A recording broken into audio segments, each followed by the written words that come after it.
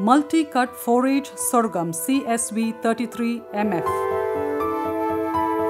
A multi-cut forage sorghum CSV 33 MF was released in 2016.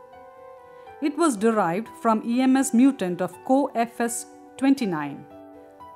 The variety has tall nature, thin stem, and it is leafy and capable for multiple cuttings. The first cut is at 65th day and subsequent cuts are at 45 days interval.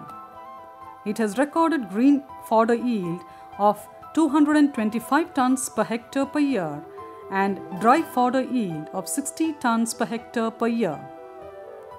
The seed is non-shattering type and recorded the seed yield of 969 kilograms per hectare. It has very low 1000 seed weight of 5.9 grams. It is also having high tillering capacity. It has better in vitro dry matter digestibility and has low HCN content of 66 ppm. It has multiple disease resistance and is also resistant to stem borer, midge and moderately resistant to mite and shoot fly.